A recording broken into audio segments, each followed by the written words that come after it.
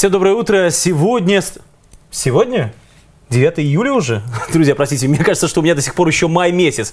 А, так вот, действительно, сегодня, 9 июля, стартует 33-й международный фестиваль искусств «Славянский базар» в Витебске. А, зрители ждут популярные песни, зажигательные танцы и, конечно же, яркое незабываемое шоу. Ну и сегодня у нас а, в гостях талантливая исполнительница, победительница международного конкурса молодых исполнителей эстрадной песни на Славянском базаре в 2022 году, певица Анна Трубецкая. Доброе утро! Доброе утро. А, Ань, доброе утро. Доброе. Во-первых, тебя давно здесь не было.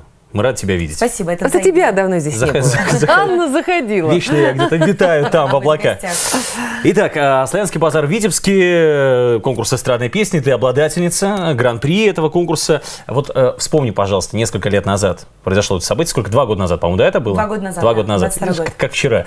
Э, Вот давай перенесемся, как будто бы это было вчера, вспомни свои эмоции от э, произошедшего. На самом жизни. деле стоять на этой сцене, это когда-то было мечтой, а в 22 году это стало реальностью. И каждый раз вспоминая о славянском базаре, даже э, где-то говорив о нем, э, неважно в какое время года, не только в июле, я всегда с большим трепетом о нем говорю, потому что это история про исполнение мечты. Э, это история про то, когда открываются э, такие электронные кулисы амфитеатра. Ты видишь этих людей, эти глаза, которые, безусловно, болеют за тебя и любят тебя, и кричат «Беларусь!».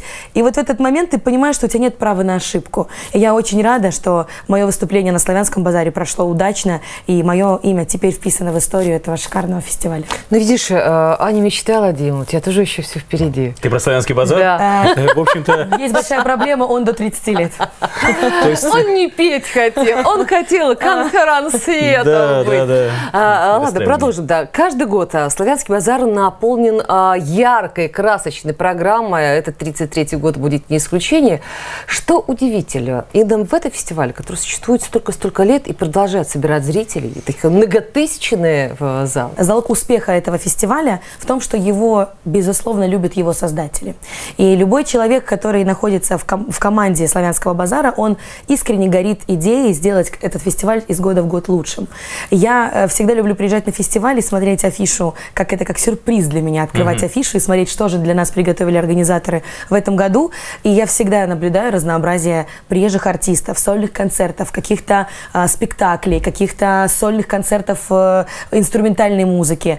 В общем, это всегда очень интересная программа, на- где каждый зритель на свой вкус найдет э, себе по душе концерт. Поэтому просто нужно любить свое дело, как вы любите свою профессию, как я люблю свою профессию, так и организаторы и дирекция этого фестиваля искренне любят свой, свой- своего ребенка. Это правда. Вы знаете, там на самом деле на Славянском базаре происходит какое-то единение душ, людей, Да. приехавших из разных уголков, артистов, которые вот превращаются, вот не знаю, в детей там за кулисами. А, самое мое любимое на этом фестивале, это вот, кстати, не на каждом фестивале такое встретишь, когда все в, в такой в очень близкой доступности. Ты можешь сидеть где-нибудь в Витебском трактире, э, есть там, не знаю, свой холодник, повернуть голову, будет сидеть рядом Ани Лорак или Григорий Лепс. Есть тоже твой холодник. Ну, мой холодник, конечно, вряд ли. А, Я всегда за ним тщательно слежу. А, Но я про то, что все становятся одним единым целым. Артисты, зрители, э, организаторы. Все вот это один большой вкусный винегрет под названием «Славянский базар». Как ты так от холодника к винегрету Вот перешла? так а? бывает. Тоже не завтракала, Анечка, тоже не завтракала, да? Хорошо, и все-таки конкурс э, исполнительной, исполнителей эстрадной песни, да, э, вообще в целом конкурсная программа, вот что бы ты могла пожелать конкурсантам, может быть, какие-то лайфхаки, э, вот э, фишечки, как сейчас модно Ну, я говорить, помню, в которые... тот год, э, когда ты выходила на сцену конкурса, ты с нами была каждый день, делилась, Да, да, да. как ты тренируешься, как ты занимаешься, занятия по вокалу, дыхание и так далее, и так далее, и так далее. Трубецкой, Да, это было весело. Это, Это было весело, да. Вот.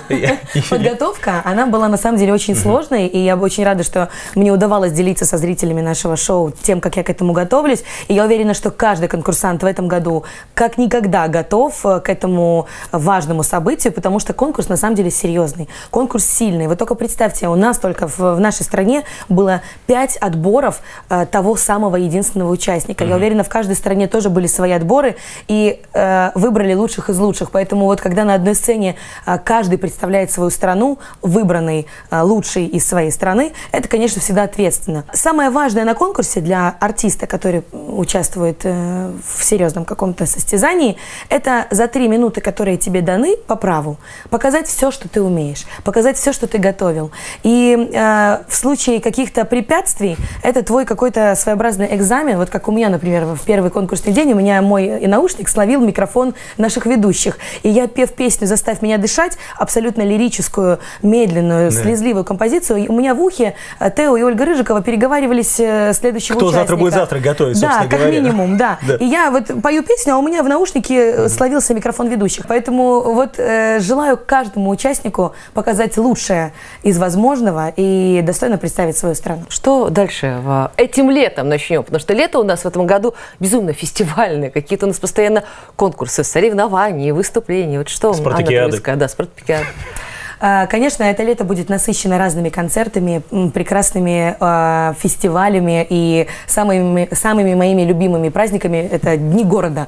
Я очень люблю приезжать на День города в какой-то город, потому mm-hmm. что это всегда праздник, это всегда фейерверк. Вот недавно отгремело 3 июля, мы там э, зажигали, каждый артист на своей площадке. А вот у меня, например, был сольный концерт в городе Клецке, часовой. Это впервые в моей такой карьере э, такое, такое событие, чтобы на 3 июля у меня был сольный концерт. А, будет много концертов, мероприятий, фестивалей. В сентябре я поеду в Казахстан а, на конкурс Алматы Жюргимде. Mm-hmm. Это тот конкурс, mm-hmm. который я выиграла в этом сентябре, который был. А в ближайшем сентябре я поеду туда как уже победитель. То есть очень насыщенное лето, очень интересные события. К самыми интересными я приду к вам в гости. А когда отдыхать будем? Отдыха не будет, потому что мы делаем все, чтобы ну, отдыхали наши зрители. Делаем для них красивую картинку, праздник и шоу. Золотые слова. Ну что, спасибо огромное. Спасибо. Я думаю, что с этого дня все а, зрители нашей страны, не только нашей страны, прильнули к экранам телевизора, чтобы посмотреть лучший фестиваль всех времен народов. Славянский базар Витебский, правильно? Но у нас в гостях была певица Анна Трубецкая.